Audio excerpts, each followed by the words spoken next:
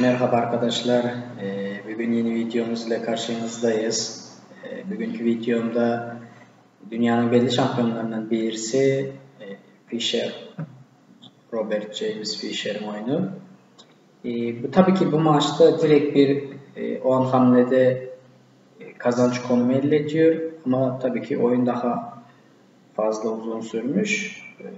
Ama 10 hamleden sonrasında oynamaya hiçbir gerek yok. Öyle bir iyi tuzak ile kazanmış. E, bu açılıştaki tuzak hala e, belli IMGM uluslararası ustalar, büyük ustalarda bu tuzaklara yakalananları oluyor. Beyazda Fischer, Robert James, siyahda Rashevsk oynuyor. 1958 yılında Amerika'nın şampiyonasında oynadığım bir maç. O zamanlarda Fischer 15 yaşında vaktindeki maçları e, Sicilya savunmasında e, hızlandırılan Dragon varyantı olmuş. Hızlandırılan Dragon'la e, at C3, fil G7, fil E3 at F6, fil C4 kısa roku, fil B3 varyantı var. Tabii ki bu konuda vezir D2 olmaz. At G4 var. E, bir de vezir D2'nin yerine F3 varyantı oynanıyor. Hatta F3'e vezir B6. Bu bayağı bir uzun varyant. E, farklı hamleler var. A3, fil B3. Doğru oynasa beyazlar eşit konum elde ediyor. Şimdi size göstermek istediğimde kısa roka fil B3 oynuyor. At A5. At A5 kesinlikle yanlış bir hamle e, Ata 5'te amacı belli. En iyi aktif filini almayı planlıyor. Ama ne yazık ki E5'ten sonra e, atımıza baskı yapıyor. E, bu fil alsak da bizim atımız alacak. Kaleni alsak da filimizi alıyor. Sonra e, bu abi atını da alıyoruz. At H5 yok. Basitçe G4'ten sonra H5'teki at düşüyor. At E8'e. Fil F7 var. Şah F7'ye at e6 e, şimdi bu konumda Şah E6 alsa Vezir D5 var.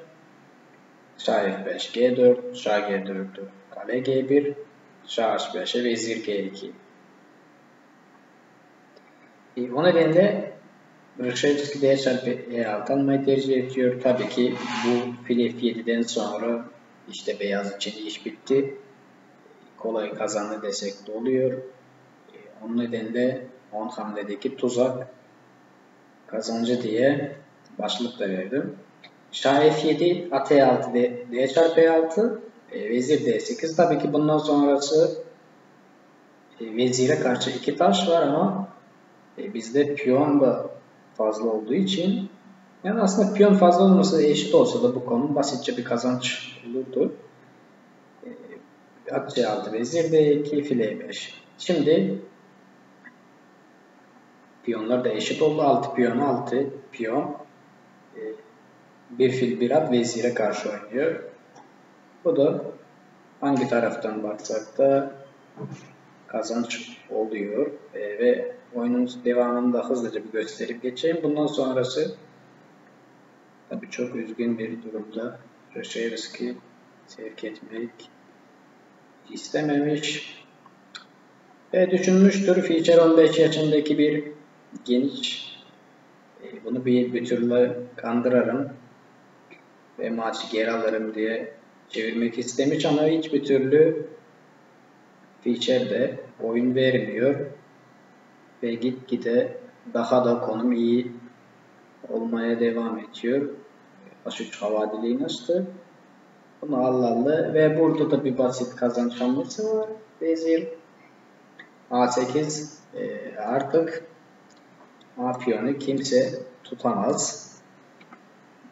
Tabii ki çok bir efsane oyunların birisi Fischer'in aslında satranççılardan Mikhail Tal, Fischer, Kasparov bunlar çok bir enteresan oyuncular.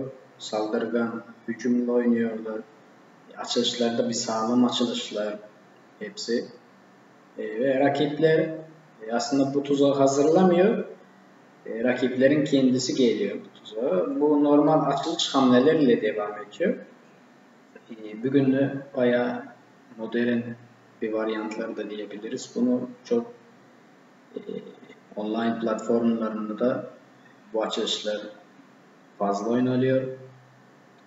Umarım bu tuzak da size bir yerde yardım olur diye düşünüyorum. E, sonraki videolarımızda görüşmek üzere. E, videolarımızı beğendiyseniz beğenmeyi, e, abone olmadıysanız da abone olup bize destek olabilirsiniz. E, sonraki yayınlarımızda, videolarımızda görüşmek üzere. Kendinize iyi bakın.